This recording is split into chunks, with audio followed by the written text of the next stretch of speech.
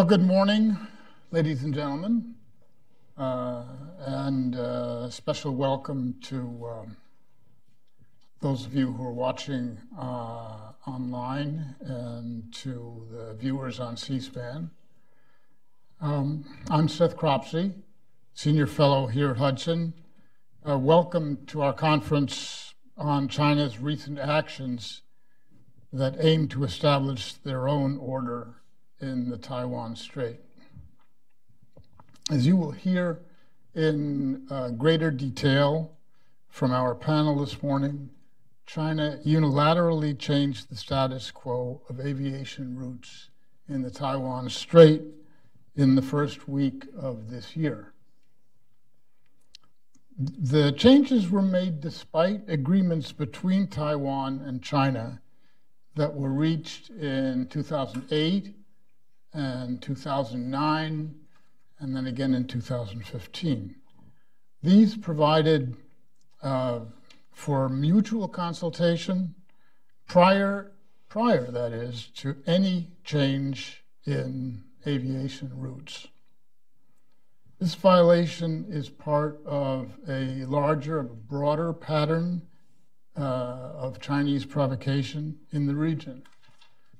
For example, the Chinese aircraft carrier Liaoning sailed through the Taiwan Strait one day after the aviation route change was announced. Since Taiwan President Tsai was inaugurated in the spring of 2016, to add to the list here, the Chinese tactical jets have circled Taiwan nearly once a month.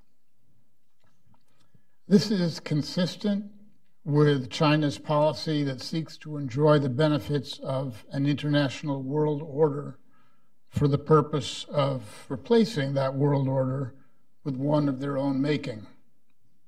For example, uh, China signed and ratified the UN Law of the Sea Treaty during the administration of Ronald Reagan. The Law of the Sea Treaty established territorial and contiguous waters up to 24 miles from a state's border, a coast, and an exclusive economic zone up to 200 miles distant from a state's coast. China enjoys the benefit of a security that's provided by this agreement, as well as the distinction of ratifying a UN convention. But China's sovereign claims include the construction and arming of islands that are far beyond the UN agreement's definition of even the 200 mile limit of a state's exclusive economic zone, which does not come under any military classification whatsoever. China's selective participation in the international order is not restricted to military policy and actions. The World Trade Organization, for example, is an international organization that encourages free trade and provides a, a forum for resolution of trade disputes. China has been a member since 2001. Nevertheless, Beijing has controlled the exchange rate of its currency, maintains a large portion of the economy in state owned enterprises, and preserves its controlling interest in setting the prices of labor, uh, of land, uh, credit, energy uh, and housing, for example. In this case, uh, what we're here to discuss, as in, uh, as in all others, the international system is a rich vein to be mined in the service of a grand strategic ambition, but never at the expense of China's Chinese Communist Party control. The same distinctive Chinese characteristics describe Beijing's violation of multiple agreements on civil aviation that had been reached with Taiwan. So long as the political stars aligned for China to benefit from mutual agreements with Taiwan, the agreements were observed. When it served Beijing's interest to, influ- uh, to influence in its favor, uh, the passage between the East and South China Seas, China decided to act unilaterally. Our panel this morning is important because it looks in detail at an egregious example of the Chinese state's consistent policy of shaping the international status quo to achieve its own ends. And this subject is important because it is a snapshot of China's broad policy. Abide by the rules so long as they suit you. A US politician once said to me that he would stick with us as long as he could. Um, he was joking, of course. China is not. With us this morning is a distinguished panel of experts. Their impressive qualifications are listed in detail in your program notes. Uh, in order of their presentations, Peter Wood will explain exactly what the PRC did early in January when it changed the aviation routes. Peter is editor in chief of the Jamestown Foundation's excellent China Brief. He will be followed by a retired senior naval officer, Vice Admiral Mark Fox, who, following uh, an exceptional career, in the Navy, is now corporate vice president at Huntington Ingalls Industries. Mark will look at what the U.S. Navy is doing in the region today and how the current administration's policy in the West Pacific is taking shape. Former Undersecretary of Defense for Policy and Hudson Senior Fellow Doug Feith will conclude this morning's formal presentation with his observations on the strategic consequences of contemporary events in East Asia. Um, I'm going to move over to uh, my chair here, but uh, I'd like to ask you um, during the question period that will follow the panelists' remarks uh, to wait until you're recognized. Uh, receive the microphone. Um, please tell us your organization and your name, and especially to whom your question is directed. So, thank you, welcome, and uh, Peter, all yours.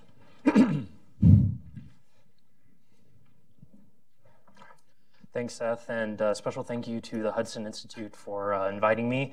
Um, I'm definitely the most junior on this panel, so I'm looking forward to just adding a little bit here, kind of the, the broader context, uh, sort of what has happened, and also the political, um, perhaps reasoning behind what this, um, why China has taken these actions. And then, of course, um, I'm hoping that my colleagues will be able to fill in uh, the, the holes I'm going to be leaving, leaving of course. So um, Seth already sort of laid out the basics of this. In January, China made this unilateral action um, to declare this route, but there's a, um, the uh, M503. Um, but some of the things that need to be kind of taken into consideration are the fact that you know this this is one of the most this is one of the busiest um, routes uh, in, in East Asia. You have lots of flights coming in and out of Taiwan. Also, flights going from Taiwan, uh, the proper island, to its sort of uh, outlying islands. Um, and then also back and forth throughout East Asia. So um, the unilateral action without consultation with the Taiwanese side um, represents a frankly, sort of a, a, a, very dangerous move just from a public safety perspective. Um, but to understand the reasons why Beijing has made these moves, we need to kind of look back at um, the last time there was a major negotiation on this on these routes. Um, there were initially uh, discussions between Taipei and uh, Beijing about this about these routes. Um, but after the uh, after Dr. Tsai Ing-wen became president of Taiwan in May of 2016, um, those discussions uh, were canceled. So there was an option for greater Taiwanese uh, uh, PRC ROC um, discussion of these issues, but that um, but those avenues were essentially uh, shut down. Um, and so to kind of turn to the reasons of like why um, that is, I think we need to look to what's been going on in the PRC. Um, so in October, um, uh, Xi Jinping gave his 19th party work report, um, had the 19th party Congress, and there's been sort of a um, important turnover in key positions responsible for Taiwan work.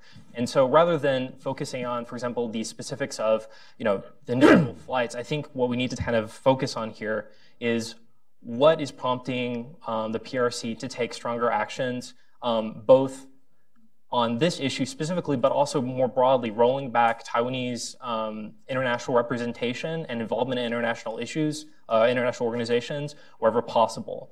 And, and again, an important uh, part of that context is this turnover on the political uh, on the political side for for Beijing. We have new um, people who are going to be responsible for um, both uh, Taiwan-directed or leading leading organizations at the central level. So the um, Taiwan Affairs Office, um, uh, another important office that's going to be in charge of Taiwan-related work, um, the United Front Work Department is going to have a new leadership. So there's essentially turnover in um, the key leaders within the CCP that are responsible for taking for policy towards Taiwan.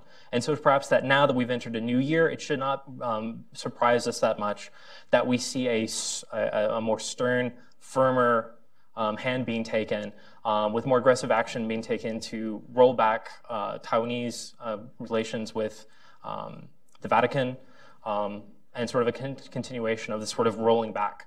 Um, another, another actions to restrict and essentially take away Taiwanese agency, which is essentially what this represents.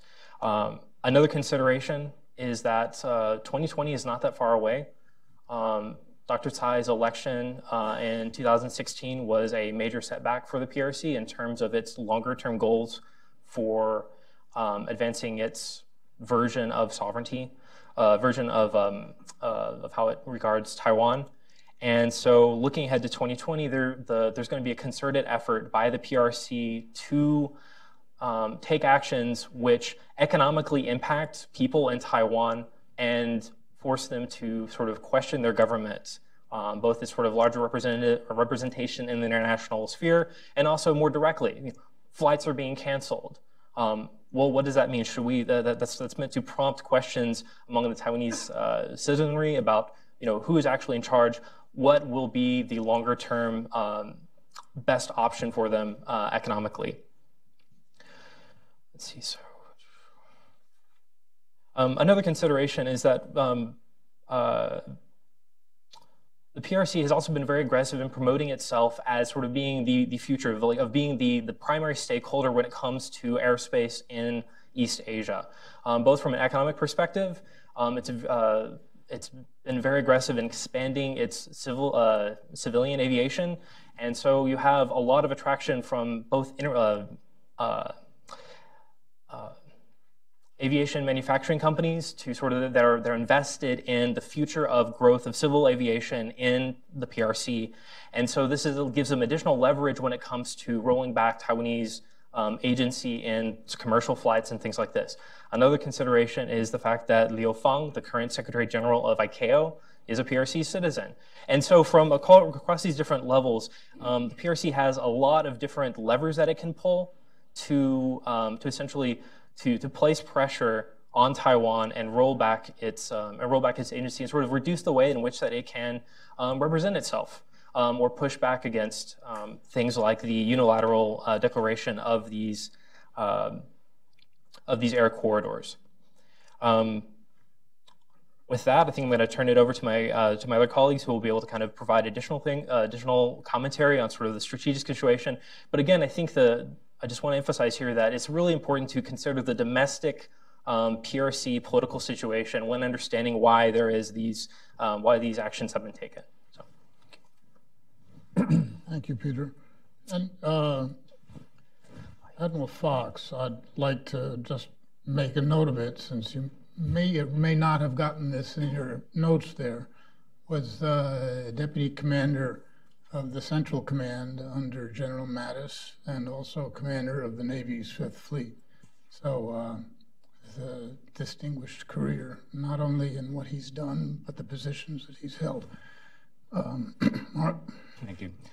Uh, I just wanted to give you a little bit of context to begin with about the posture that the U.S. Navy uh, has maintained, uh, in particular uh, in this region. The, the U.S. Seventh Fleet has been an enduring presence uh, in the Western Pacific since the end of World War II. And we, in fact, have um, a forward deployed or permanently stationed, if you will. There are unique forces that actually are in Japan and they're in the region. So there's a, a differing construct in the Navy of when ships from the East Coast go to the Middle East, for example, it's a rotational kind of uh, construct. Also West Coast ships that will work up and go through the Pacific, sometimes operating in the Pacific under 7th Fleet, sometimes going to the Middle East. But the Middle East, I mean, rather, the, uh, the 7th Fleet is unique in that they have forward deployed, uh, permanently stationed. And the, va- and the majority of the U.S. Navy is in the Pacific. So, uh, despite the discussion about, you know, the rebalancing to Asia Pacific in the last administration, we never left. Uh, we were there in uh, meaningful uh, presence and in meaningful force all along. And if you want to talk later about any, any questions about that, I'll be happy to, to address them.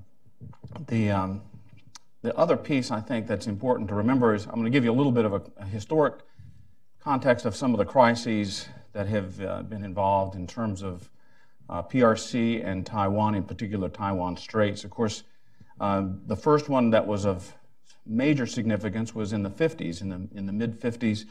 And this was when Taiwan, Formosa, was still the Chiang, Chiang Kai shek regime was still uh, very closely aligned with the uh, Eisenhower administration. And in fact, Eisenhower, uh, there was a great deal of tension that had come up in the mid 50s. Uh, the Seventh Fleet was there deployed. Later in the 50s, the second Taiwan Strait uh, crisis occurred, and there was actual conflict. It was the first, as an aviator, uh, I, have always studied this, but the first actual use of the Sidewinder missile in, in uh, September of 1958 in the kind of the second Taiwan uh, crisis, if you will. Now, in the meantime, this area is vital and key for economic growth for the entire uh, region and I would argue the entire world. During the Vietnam era, when we, the U.S., were involved uh, in Vietnam, we actually had stations up. We had Yankee Station, which was up in the northern part uh, off of North Vietnam, and we had Dixie Station. And so we had continuous and very heavy operational presence during the, the 1960s into the 70s uh, as the, the Vietnam uh, conflict evolved. So the third Taiwan crisis occurred in 1996, in which PRC was actually launching missiles. This was in the early part of 96 prior to an election. And there were missiles that the tensions were raising, and President Clinton, the USS Independence was the forward deployed aircraft carrier at the time that was in Japan.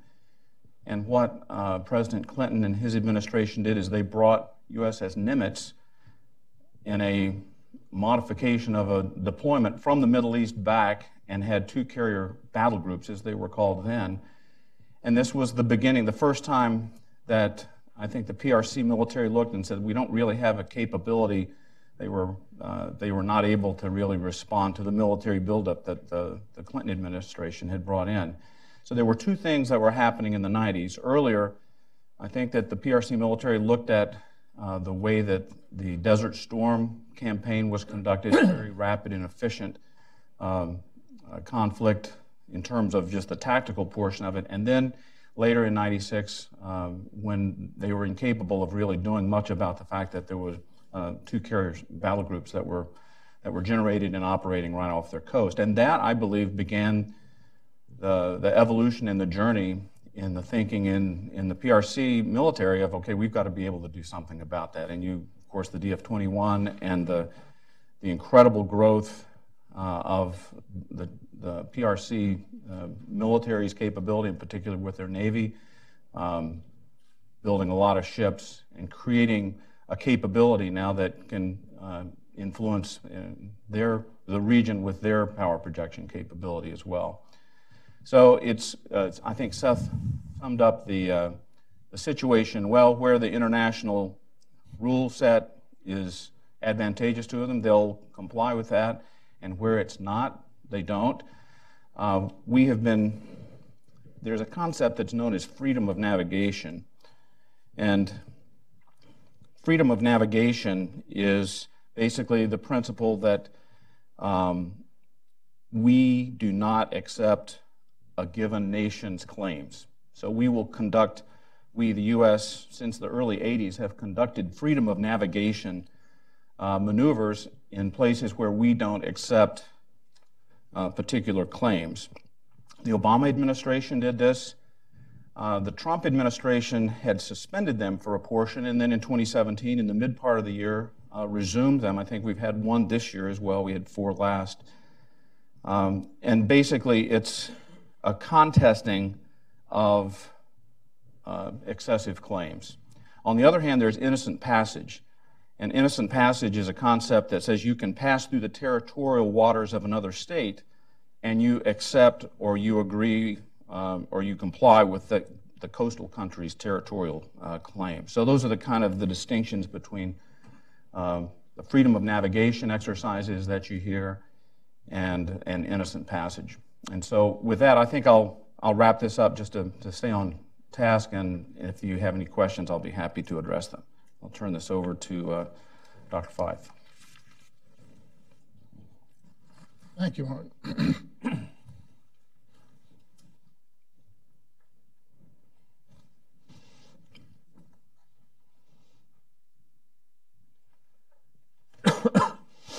Good morning.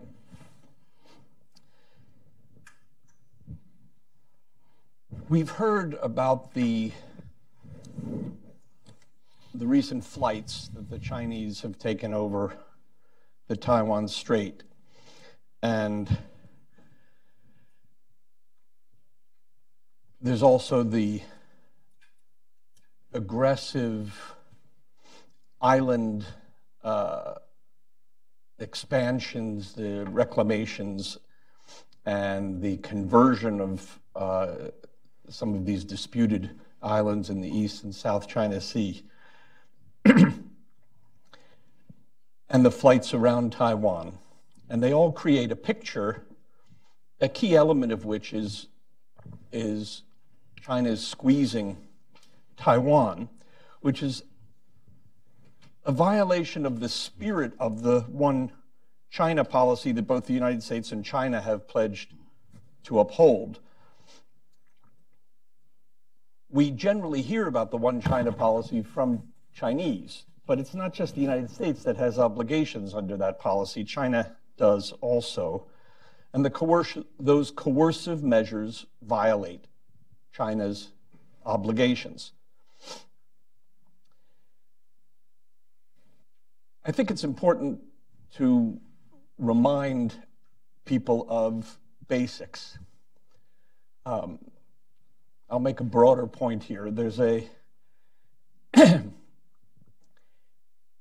when when we have alliances and partnerships in the world, people who are experts in the field often take them for granted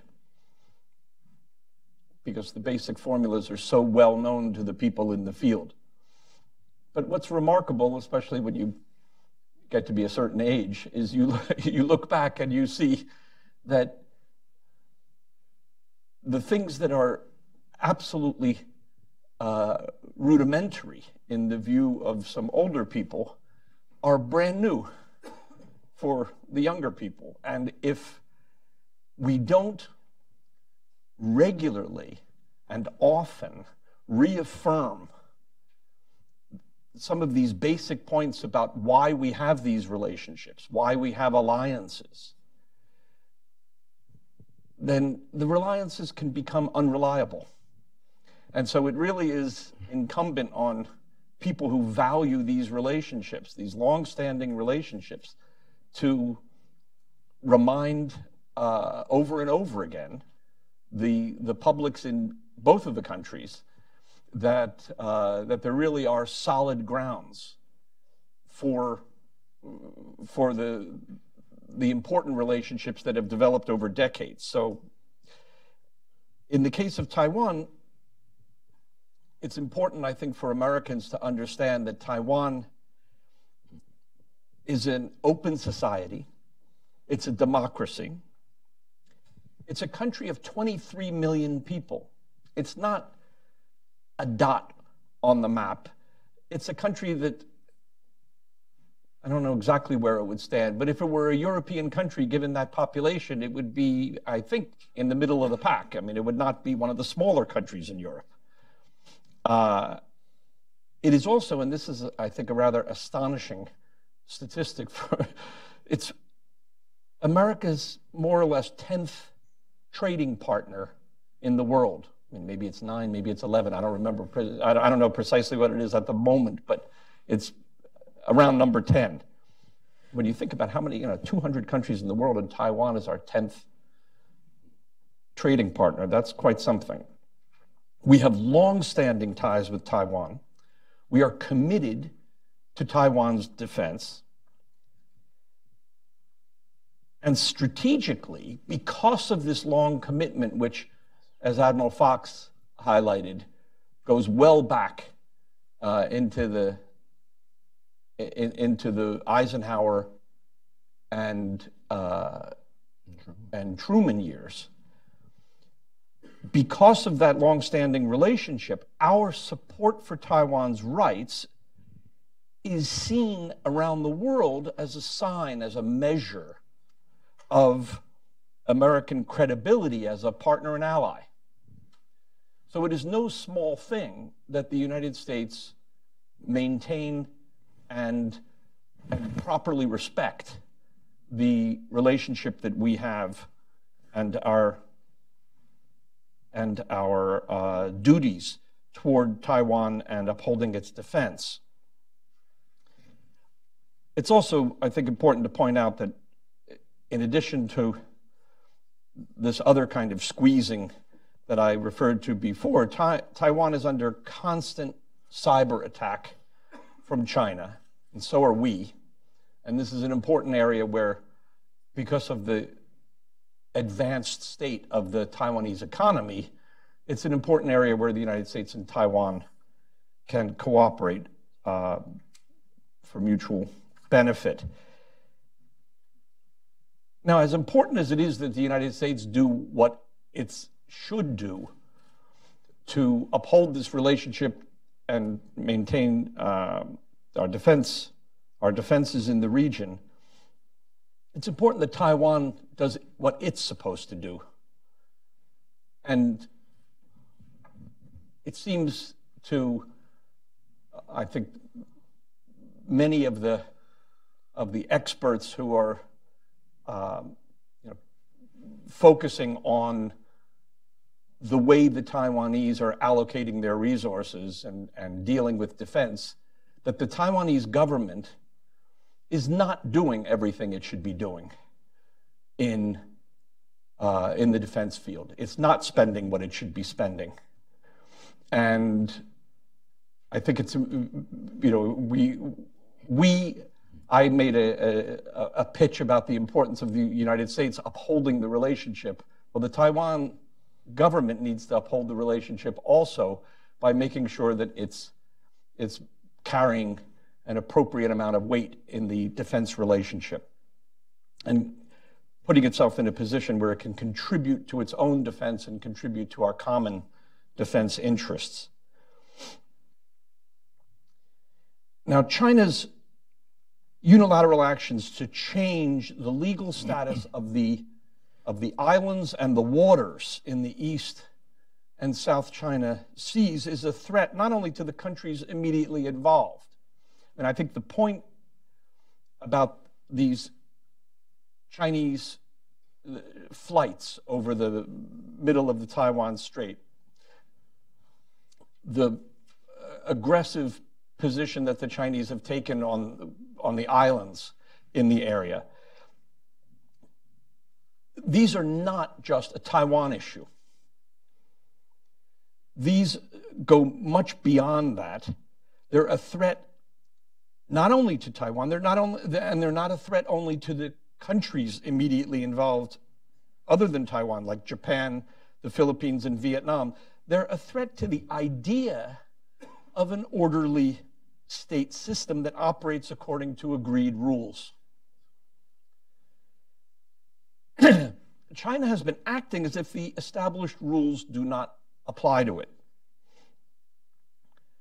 Now, I'm aware that the United States often gets accused of uh, thinking that rules don't apply to it. I hear that when I speak at universities. Anytime one talks about other countries not obeying the rules, inevitably somebody will say, well, you know, the United States thinks it's exceptional, and they think that American exceptionalism means that the United States doesn't subject itself to international rules that it wants to apply to others. I don't think that's basically correct. I think the, that US officials uphold the basic rules of the state system. The US officials are accustomed to living in a society with a rule of law, and so they have no problem adhering to international rules also. And I think we generally do so. Top Chinese officials, however, preside over an unfree society. They operate above the law. The law for them is a tool of power, not a constraint on the people in power. It's not a constraint on the Communist Party, and it's not a constraint on its most senior political officials, and not constrained by their own domestic law, senior Chinese officials show disregard for that weaker species of obligation known as international law. And I've heard Chinese scholars discuss the multiple sources of disdain for international rules on the part of Chinese leaders. One source, as I mentioned, is communist ideology, which puts the party above the law. But there are also sources rooted in powerful elements of Chinese strategic culture. These elements encourage chauvinistic views that China should dominate rather than operate as a nation among nations that deserve equal respect for their sovereignty.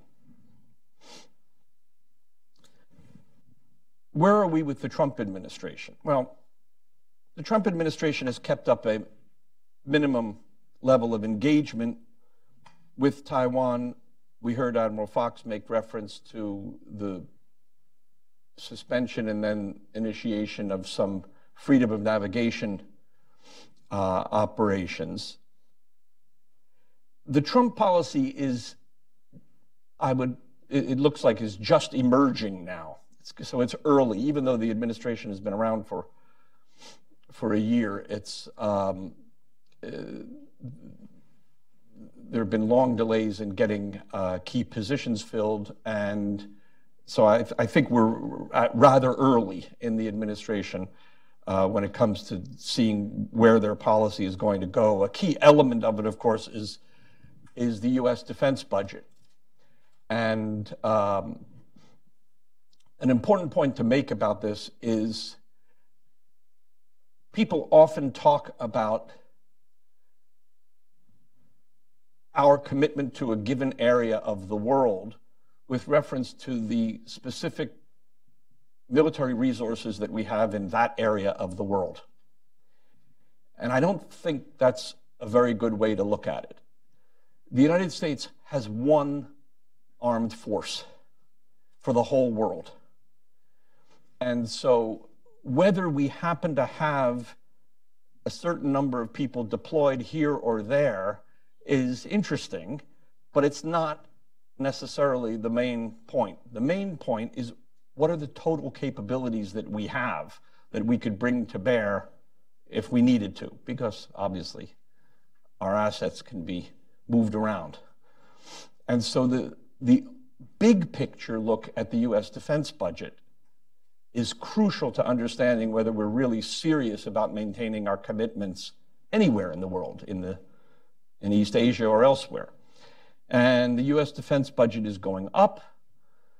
It's not going up as much as many people believe it needs to if the United States is going to fulfill all of its various obligations uh, to its own interest and to its alliances and partnerships. Um, as as I heard at home this morning when I put this tie on, uh, this tie may have more ships on it than the U.S. Navy, and and that's a problem. Um,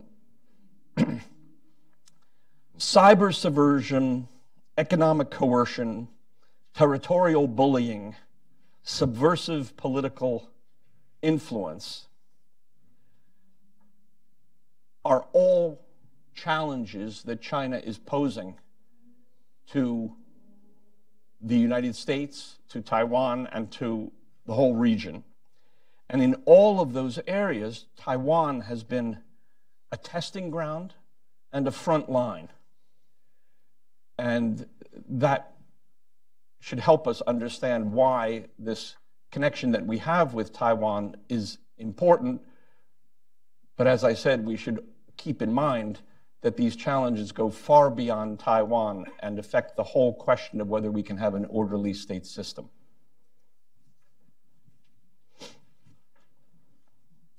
Thank you, Doug. well, we've heard three excellent presentations. Thank you, gentlemen. Uh, let's turn the mic over to the floor, and if there are questions, we will recognize people from the floor. So, Abe? Hi, uh, Abe Shulsky. I'm senior fellow here at Hudson. Um, in the South China Sea, the, the Chinese have made this claim of sort of a territorial sea that has really no basis. I mean, it it's just inconsistent with the whole approach of the law of the sea. And they, they their hope, their famous nine dash line sort of suggests that the sea itself is their territory, as opposed to having rights in the sea because they control the nearby land.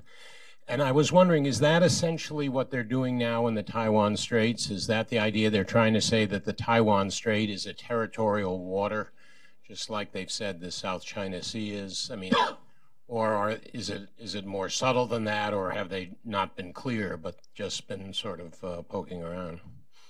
They, they just claim all of Taiwan, so it's it's even more basic than that. Well, but but even if they, well, but that would be another question. I mean, suppose they did have Taiwan. The Taiwan Strait is certainly wide enough that we would regard that still as international water and have a right to you know, we could still do freedom of navigation exercises through the Taiwan Strait, even if Taiwan were part of China, couldn't we? I mean, it's a big enough, it's a big enough area. But but I think I'm just wondering, are they make is is this kind of similar to the South China Sea issue, where they're trying to make a claim in a very inchoate way that they not only have rights over the sea that's near their land, but they somehow have territory on the high seas that is just that is just, I mean, as if we said, well, the Gulf of Mexico is like Lake Ontario, I mean, or like Michigan, I suppose, because we want to share it with Canada. I mean, if we just said the Gulf of Mexico is our territory, that would be sort of similar to what uh, that they're doing in the South China Sea. So perhaps it's more analogous than to the ADIZ um, in East China Sea, um, and in terms of sort of like the, like you said, claiming um, sort of the sovereign ability to determine who gets to go there. Um, while they haven't enforced it, but that was what they've what they've said. So um, I think perhaps when we were talking about the South China Sea, then then maybe we should view it um, from that perspective. That yeah, they, they they view it as being sensitive, even if uh, even if um, for example, actions the United States has taken are um, doing these FONOPs or uh, even getting close to some of their uh, their created things. They're, they're, they're claiming that it's uh, that they have sort of additional rights. Yeah. I'd just like to say it's, it's an interesting point that um, one of my colleagues made that about the Law of the Sea Treaty that the Chinese should, as a party to the Law of the Sea Treaty, work out the question of the status of these waters through the treaty. Now, I personally am skeptical about important elements of the treaty. I mean, the treaty is a has some very sensible and appealing aspects, and it has, in my view, some deeply troubling aspects. and the United States is not a party. And I think there, there are some good reasons for that. Um, it's a matter of debate among uh, intense debate, even among I think very sensible people in the United States. But um, but the fact is, the Chinese are a member, a party to the treaty, and and they are not doing what parties to the treaty are supposed to do on precisely the questions, Abe, that you've raised. Uh, I mean, whether waters are inland waters for all practical purposes or international waters is an enormously significant question. It's precisely what the law of the sea treaty is supposed to, right. to deal with. And if there are serious questions raised, they're supposed to be resolved through the mechanisms of the treaty. And I would simply point out to the people who advocate in favor of the treaty and think that it's really a valuable thing, uh, more valuable as a net matter than I think it is, I would say, you know, if you want to defend the treaty, then you should be pressing to see that it works, to see that the Chinese, having become a party, are using the mechanisms of the treaty to, to resolve these questions of what constitutes international waters or not. And if it doesn't, it really cheapens the whole treaty. yeah, another point, Abe, is that if you go simply by the treaty itself, the contiguous zone and the sovereign zone um, of Taiwan and China extend 24 miles out over a 100 mile area, which leaves 52 miles in the middle. And so I think it's that based on, for example, the Chinese actions in the Fiery Cross Islands in the Spratlys, which are hundreds of miles beyond the exclusive economic zone, that it's pretty safe to assume that they would claim that that little 52 mile band is is theirs.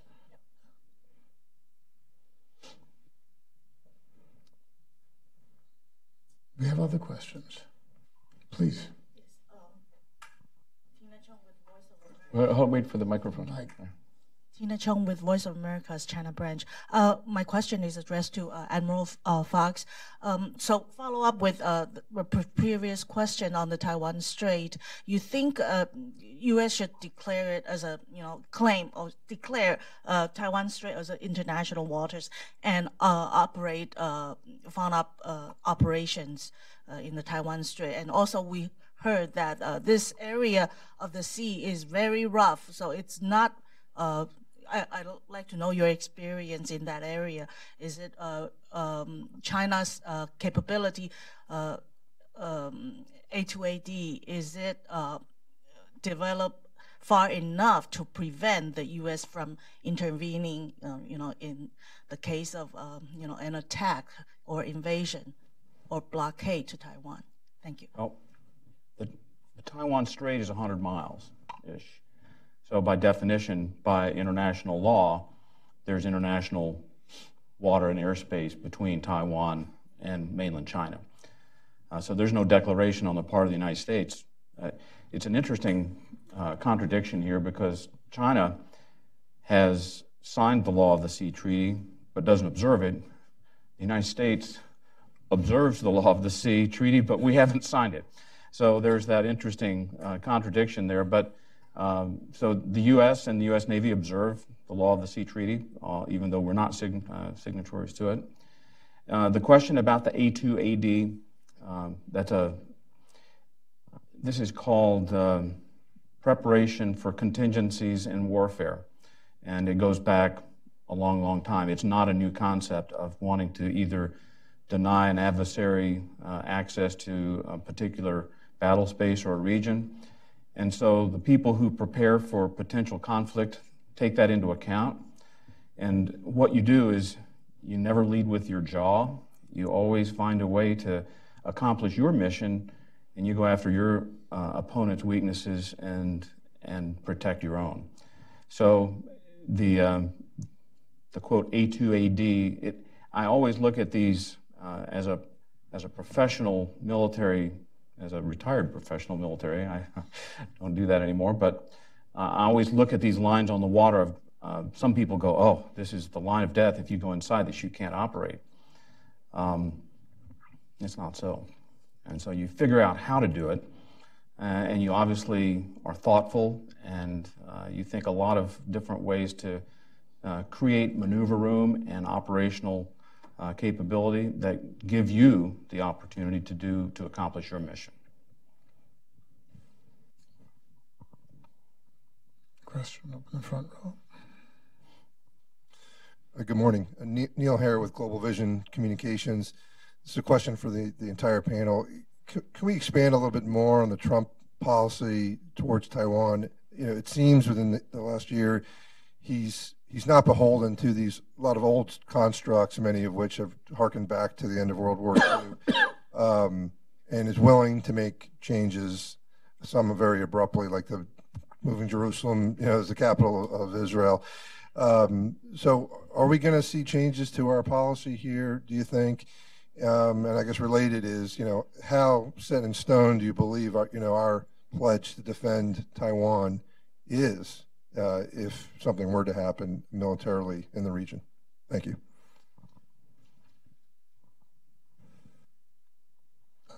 oh, okay. Well, uh, speculating about what the Trump administration is going to do, um, I'd like to leave to my colleagues. um, my guess is that uh, um, it's, um, as Doug pointed out, it's an evolving, you know, the answer isn't there yet. Um, it's taken a while to get the key policy people in place, both at state and the Defense Department.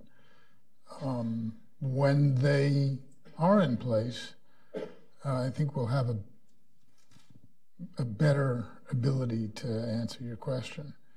Uh, but until then, uh, um, it looks to me as though the administration's uh, primary concern in East Asia is North Korea. Um, and that's where the tweets are directed, and that's where the public statements go, and that's not only from the president, but from uh, secretaries of state and defense. So, uh, aside from arms sales, um, which the administration got off to a good start on, um, I think it's as the popular and overused phrase goes, a work in progress. I guess the one the one thing that I'd say is that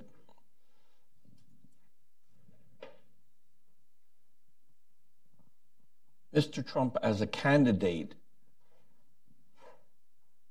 made a number of of pretty strong and harsh statements about um, America's allies and partners and criticized them generally as free riders and made people in the United States and around the world question whether he was committed to these longstanding alliance and partnership arrangements or whether he was going to upend uh, all of them in Asia, NATO, and around the world.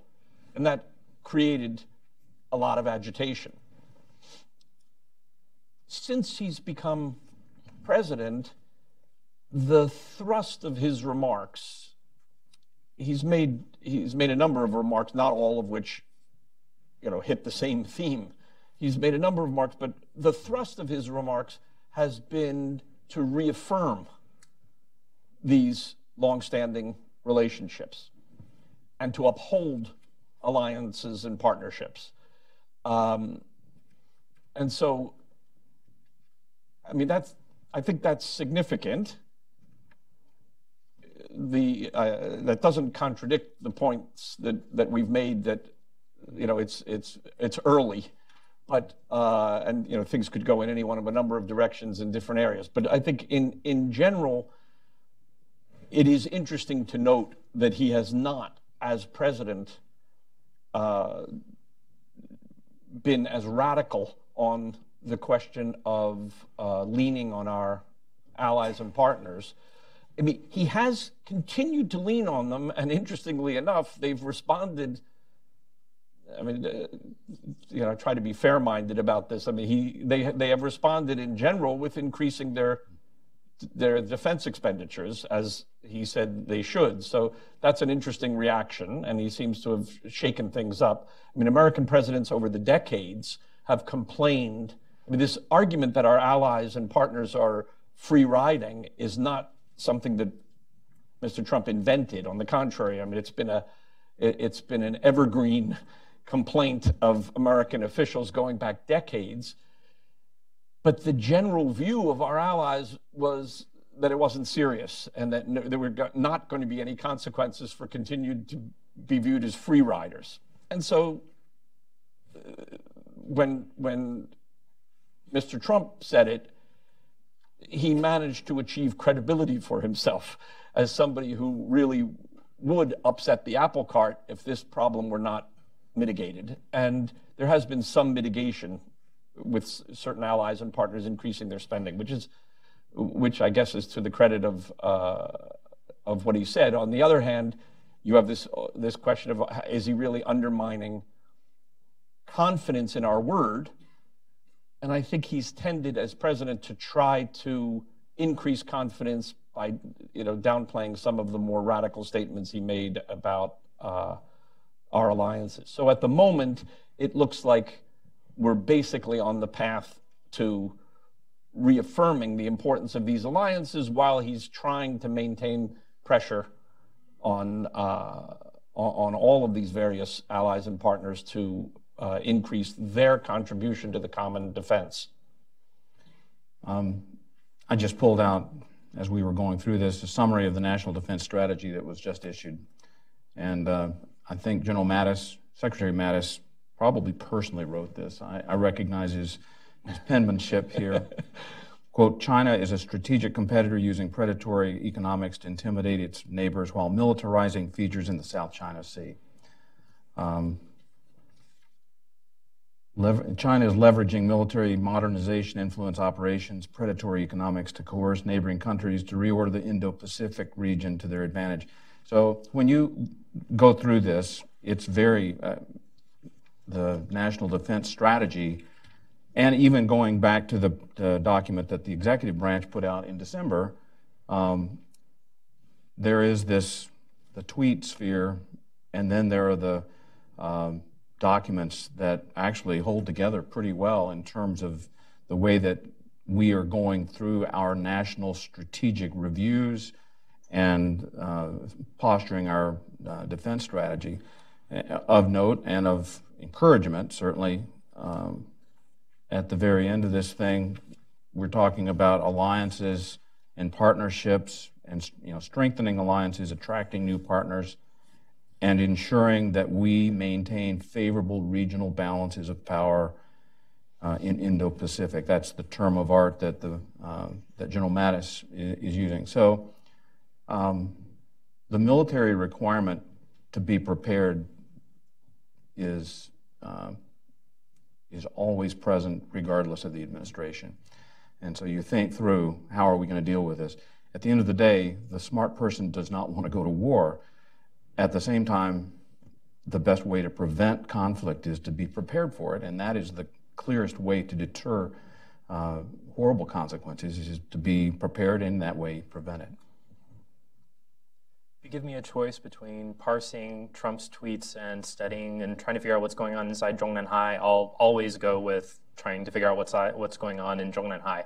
So, um, but I but I think it is I think so. But I think it is worthwhile examining, um, as others have done, like the the appointments that that Trump has made to various um, important uh, security positions.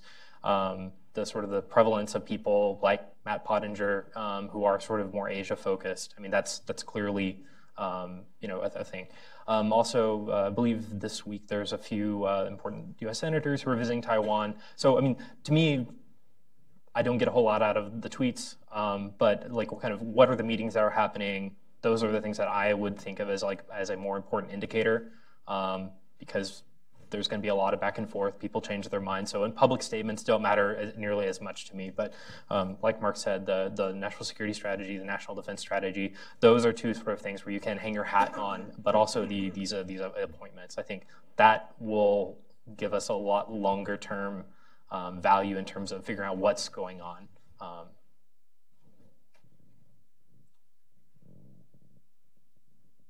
Other questions, sir?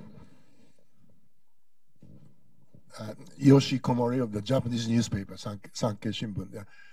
Uh, as you know, the Chinese official armed vessels are coming into Japanese territorial water around the Senkaku Islands in the East China Sea. And they, they come as often as uh, three times a month and cruise around in the Japanese territorial water for two hours and then leave. And that creates concern, naturally, on the part of Japanese, that they might go further soon to actually land on the islands or the or just uh, occupy the whole thing. So could anyone address this Chinese move toward Senkaku Islands in the context of China's overall strategy or policy toward Taiwan, if there's any connection, direct linkage, or anything like that? I'll start and uh, pass it off to my colleagues it's a pattern of activity that we've seen and it continues. So um, if you can ever reach the point where egregious behavior becomes accepted, then somehow it's become accepted and people become uh, numb to it. And so I think it's, uh, it's something that needs to be a source of concern and to be a source of focus. You need to uh, we need to be able to understand uh, those kinds of activities. The actions are obviously driven by somebody making a decision to do that. And how do we now reach a point where we are able to influence from a from a policy level to say stop stop doing that? That's that's not a um, it's not an accident. It's not a coincidence when it happens in a repetitive fashion.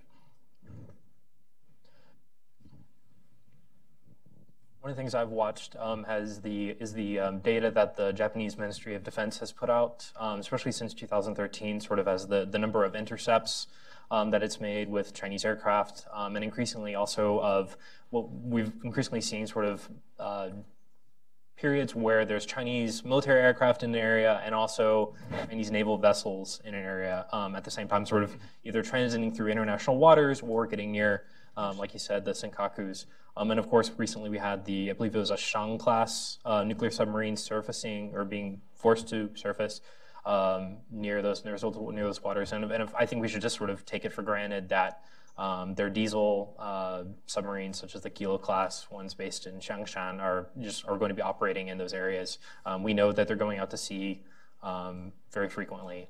Um, so I think yeah, I think we should sort of look at this broader um, pattern of, of, activity. And I think it would also behoove um, Taiwan uh, used to actually publish uh, numbers about this, the, the, number of aircraft that were being intercepted. Um, they made a decision um, to stop doing that, but there's three, I think, white papers that actually presented and had this data. And, and if you look at it, it's, it's quite uh, quite astounding. I, I, I, took the I took that data and looked at the the trends, and if it has continued on uh, on the sort of upward trajectory that it was um, on when they last published this information, then we'd see something around 2,000 flights, I think, um, to the to the to the center line in Taiwan per year.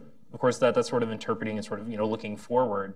Um, but I think I think it behoove Taiwan to sort of reconsider to, uh, issuing that kind of data again. Again, the fact that Japan has uh, decided to release this information that's it's it's a baseline. Um, to my knowledge, uh, Vietnam, uh, of course, the Philippines. No, like these other, uh, no other nation uh, puts out information like that. Um, but I think if we want to kind of see how China is ratcheting up um, its uh, its its flight, its military flights, or like you said, even um, militarized ships like Coast Guard vessels. Um, and to channel Andrew Erickson here, uh, the sort of maritime militia, I think, is something that I mean, the, the, the, we we know from these uh, open uh, sort of the the uh, um, the, the, the, sensors aboard the, these ships that there are a lot of actual fishing vessels that are going and and and near uh, near the Senkakus and near other sort of territorial claims, and a lot of these are actually associated with um, actual official Chinese maritime militia. Um, we actually in the, in the, People's Daily recently there was a um, an article from a, a, former president of the Academy of Military Sciences um, in in Beijing that was talking about how the maritime militia and other scientific vessels, all of these sort of all of these vessels, not not just Coast Guard, maritime militia, scientific vessels, and Navy, all of them together are an important part of turning the PRC into a uh, strong maritime nation. So we, we can't just sort of look, I mean, they, they don't view these things as being separate. They view them as, as being part of a larger whole. So it behooves us not just to look at, like you, like you said, sort of the, the, the, the more overt uh, you know, gray hulls, we also have to look at the white hulls in the and then the fishing vessels as well. So. And also to address your question and the question that preceded, although it's uh, not possible to tell what this actually means, I believe the president has already said that the Senkaku Islands are Japanese. So determining what the consequence of that is, we'll wait to see. But that's a positive statement. We have another question, sir. Retired Foreign Service officer. I'm wondering if uh, members of the panel could address the uh, sort of history of port calls by the U.S. Navy on uh, Taiwan. Uh particularly in the light of some uh Chinese officials' remarks about this being kind of a marker put down for the relationship. You know, I don't at my fingertips have the last time that there was a U.S. Navy port call in Taiwan. I'm I'm witting to and aware of the the expressed concern on the part of the, the Chinese administration, if you will, that that's a that's a third rail. Of course, the evolution from the Truman Eisenhower era. And then, you know, the, the watershed event was obviously when Kissinger and, and Nixon uh, went to China in the early 70s. And I, think that um, there has been this hope and assumption that by engaging uh, China over the last 35 ish or however many years, that we're drawing them back into this uh, business of being a responsible member in the international community.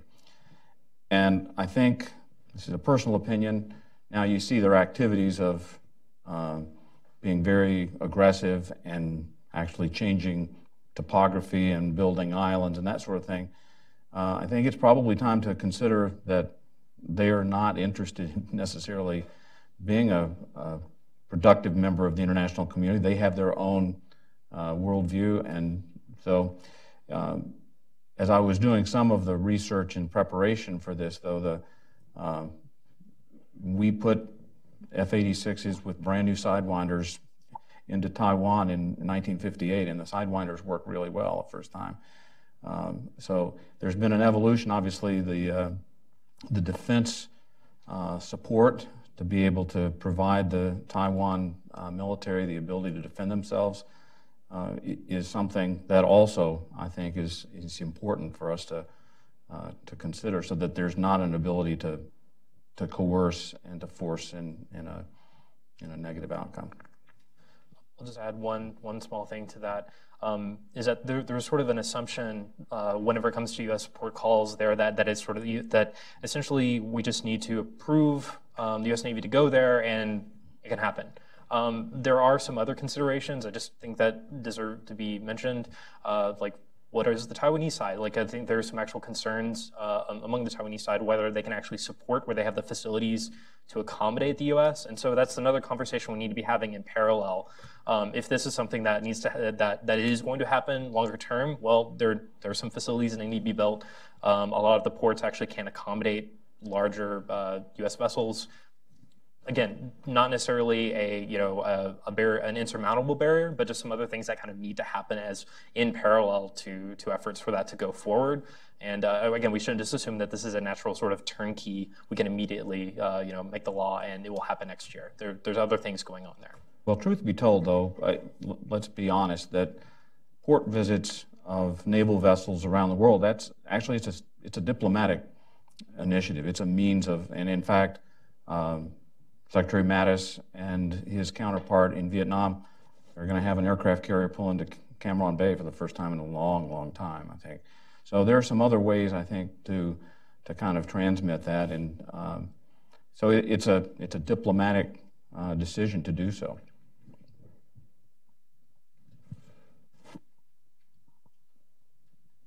Let's take a question here, and then we'll go across the aisle. Uh, Eric Harnden, uh, graduate student over at Georgetown's MSFS program. Uh, Admiral's question regarding China's use of limited war techniques, techniques kind of to avoid strong retaliatory action against the United States. What can you can you discuss what levels of deterrence the United States can use um, to counter those types of actions, whether it's whether it's in the Taiwan Strait, whether it's in the South China Sea? Um, what can the United States and the international community do to counter these kind of limited war uh, techniques utilized by the Chinese, where a re- strong retaliatory response might not be credible? Right. Uh, that's a great question, and it's something that I think uh, the Seventh Fleet Commander and the, the PAC Fleet and the PACOM commanders all uh, think about. In a broad sense, um, you want to prevent miscalculation and you want to prevent uh, escalation of tensions. And yet, on the one hand, uh, the PLAN and the Chinese activities have been escalatory. And so, without getting into a ships bumping into each other, uh, there has to be a means by which uh, there are conversations between leaders that prevent those conditions from happening. That's the ideal situation. And I, you know, you can go back. We had the incidents at sea agreement with the Soviets back in the early 70s because we were in this place where we, the U.S. Navy, were having uh, literally there were ships that were bumping into each other, and there was the there were these kind of escalatory and a lot of, a lot of opportunity for miscalculation. And we sat down with the Soviets in the early 70s. It was when uh, John Warner was Secretary of the Navy and hammered out this incidents at sea uh, agreement. So I think there's one place where there should be uh, conversations to say, as people with gray hair and grandchildren, I, I don't want us to have a conflict with China. I really don't. At the same time, we must not be coerced or pushed. And so the rheostat and this ability to prevent them from um, accomplishing aggressive and provocative actions and not being uh, held accountable or not having to uh, modify that behavior, it's, this is the essence of both statesmanship and seamanship, if you will. Um, there are a number, I, you, there are a wide spectrum of different things that you can do. Um, but our response, for example, of, hey, we do freedom of navigation because we don't recognize these claims.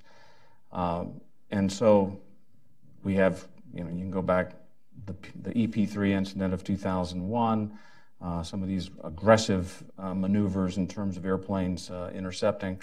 Um, this is a place for the grown-ups and the adults to sit down and make sure that we create uh, a construct where we can operate in international waters and do our operations without uh, escalating in, into either miscalculation or into conflict. And I'd add one point when you talk about a, a deterrence strategy.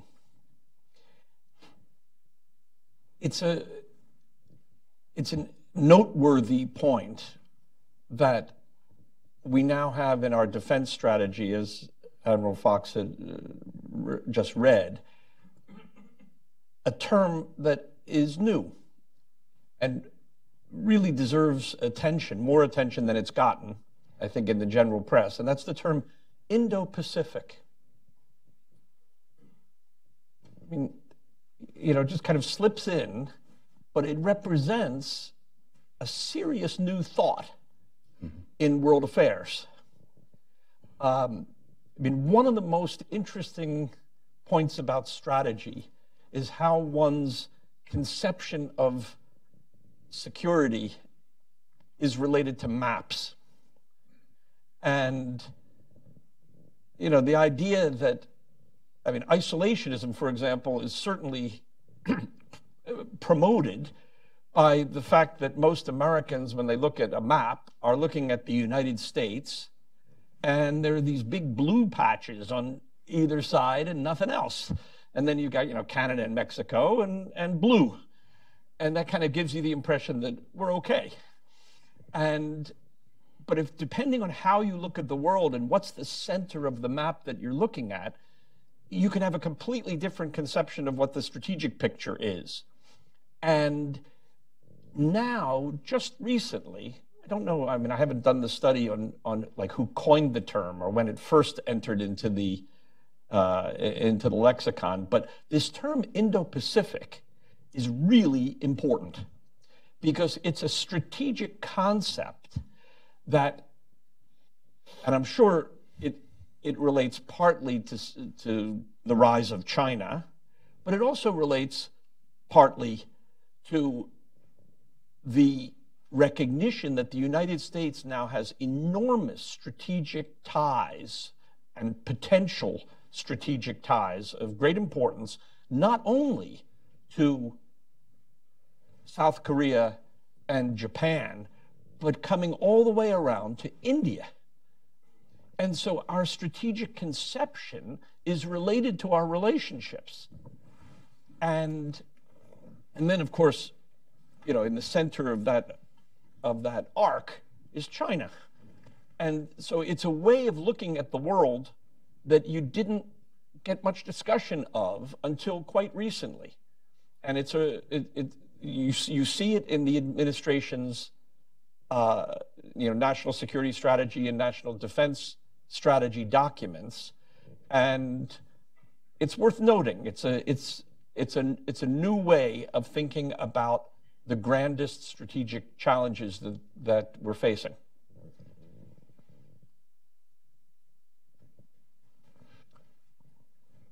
Questions?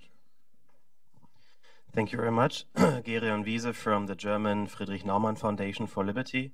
Um, I'd like to know from the uh, distinguished panel um, that I guess we have seen some kind of increase in the aggressiveness of Chinese geopolitics under President Xi, and now we have this um, very case here uh, that just happened recently. Um, how do you view the uh, military capabilities of Taiwan itself to be uh, actually to do something about it or to actually act independently from, for example, the United States, because I've read a book and it's from 10 years ago, but it said um, it was a very uh, analysis of, of Taiwan's military capabilities, and it said that there would never be a conventional invasion of China to Taiwan because it would just be too costly. Too, the cost would be too high because Taiwan's defense capabilities are actually too strong. And I was a bit doubtful about that. Mm. and I thought maybe uh, the reason for the author's optimism was that he's married to a Taiwanese. So um, I was a bit doubtful about that. So um, and it seemed too optimistic for me. Uh, and I would like to know your opinion on that. Well, first of all, the um, the distances involved, even though you go, well, it's only 100 miles wide. That's a long way to go in amphibious assault. Um, so it's not a simple problem at this, here's, here's what I think is happening, and kind of back to the hybrid and the, uh, the gray uh, activities, cyber, infiltration, the, the, I think that the strategy really is to, to withdraw or to sap the will to either resist or to be able to defend um, with a kind of a, uh, a thoughtful campaign of dry rot, atrophy, we can't do this. Militarily, it's a difficult problem. It's hard. And Formosa, I, Taiwan, is a big island. And so 23 million people. Uh, when, when we, the U.S., were contemplating invading Japan at the end of World War II, it was a really hard, uh, and we'd gotten, we'd had a lot of good practice in it in the years running up to it. So I think an amphibious mil the military aspects of an amphibious assault against the, uh, the, the, island of Taiwan it's militarily uh, feasible, it's really hard, and I think it would be very costly. Then this gets into the risk reward. How much is it worth? It's much better probably to work in a different way, a more indirect or, in, you know, and so I, I think we see a number of these things. You have to, if you don't have some credible military capability, then you, then your diplomats lose traction, you know, and so it, it works, they, they work together. You don't just do one or the other. There's a lot of discussion that you'll see and hear nowadays about our fleet is not big enough, we need to build more ships. Uh, there's been a kind of a, a, an era in which we've allowed the, you know, the U.S. Navy has reached a point where it doesn't have enough ships and the maintenance hasn't been done, and we've had uh, tragic uh, incidents in the Western Pacific. And so there's a new sharp focus on the fact that you need credible military capability to be able to influence uh, events around the world. So you see that kind of talk in the renaissance within the Department of the Navy and Department of Defense. Um, but back to the question of how hard a nut is Taiwan to crack for an amphibious assault. Um, it, it's hard, it's militarily feasible, but it would be a costly effort, in my opinion the China Brief, we've been tracking the Chinese military modernization um, that started at the end of 2015 pretty closely. So um, it, it's a, a, few things are, are, worth kind of highlighting. Um, first of all, is the sort of PLA's self-assessments. Um, people like Dennis Blasko have written about this really extensively. That essentially the, the PLA doesn't regard itself as as being as being there yet. I mean, that they have set these goals for themselves. Um, originally, it was uh, it was 2020 uh, and then uh, 2049. The latter uh, one of these have actually moved up uh, to 2035. So they're trying to accelerate this, but they're trying to do an, an, enormous number of things in a very compressed period of time, and it's and it's been incredibly chaotic. Um, you had sort of the you had sort of there's sort of two phases: the the Bozi the uh, uh Shang above the neck and below the neck.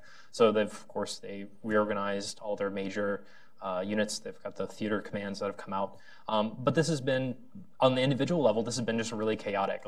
There's no one really knows who, which offices report to which ones. Um, the the training is all out of whack. You have uh, that's sort of at the officer level. You have people who are in charge of like a regiment, and then all of a sudden they're in charge of a brigade. You know, just massive changes in, in levels of responsibility, and that's going to take them a while to to, to adapt to. And, and they're actually very, um, they're, they're pretty blunt about it in, in the official press, actually, um, that this is something that they have to overcome.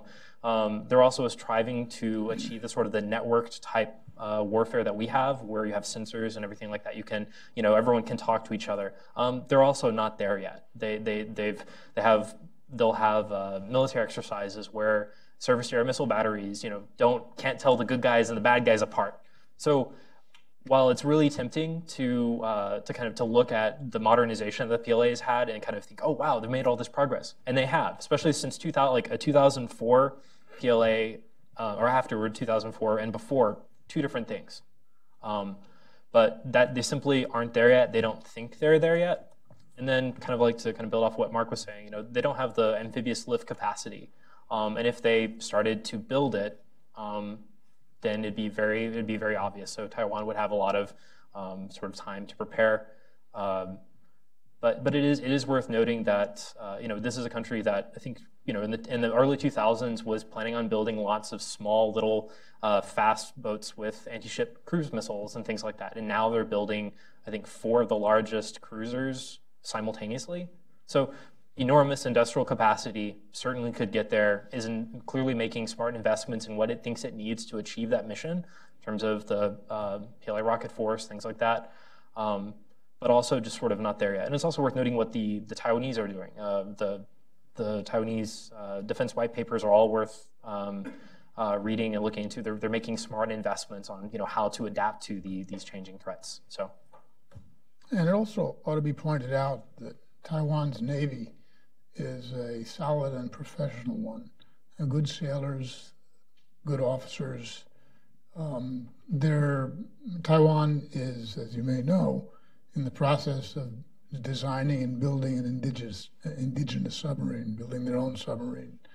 Um, when they succeed in accomplishing that, that will improve their defenses substantially uh, against an amphibious assault. I mean, there's all kinds of other things that can be done with a submarine, but um, that's one of the things that would apply specifically in this case. Um, that deserves our the United States' support. Other questions? Well, uh, we're uh, right on target. Um, I'd like to thank you for joining us this morning. It's a useful and interesting discussion. Uh, your questions have been excellent, and thank you, panel, for your wonderful answers. Um, uh, this will not be uh, our last discussion of this issue. I hope you'll stay tuned and join us for the next one. Thank you.